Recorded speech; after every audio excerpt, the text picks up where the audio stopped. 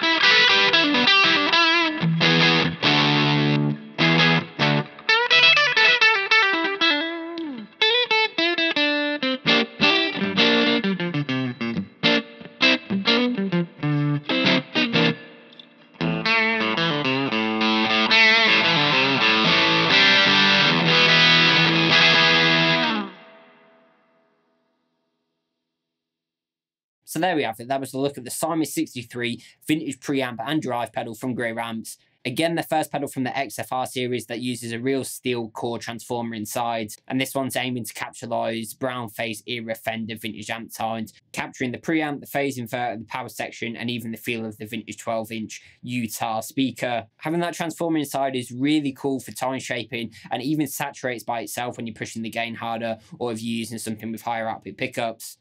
And of course, having the 9 to 18 volt operation for different textures and feel is really cool as well. The 9 volt, you get more grit and texture, and up to 18 volts, you'll give you more higher headroom, stiffer response, and less overall grit. What I found with Greer's XFR series is you've really got to treat them like an amp, which means running different guitars into them will give you completely different sounds, and even running drive pedals and certain modulation effects into the front of the pedal will really get the best tones possible. But let me know down in the comments what you thought of the Soma 63 and if you go and pick one up for yourself. Again, there's going to be affiliate links down in the description to all the gear I use in this video and to record my videos. These do help support the channel out further, so I'd really appreciate you going and check them out.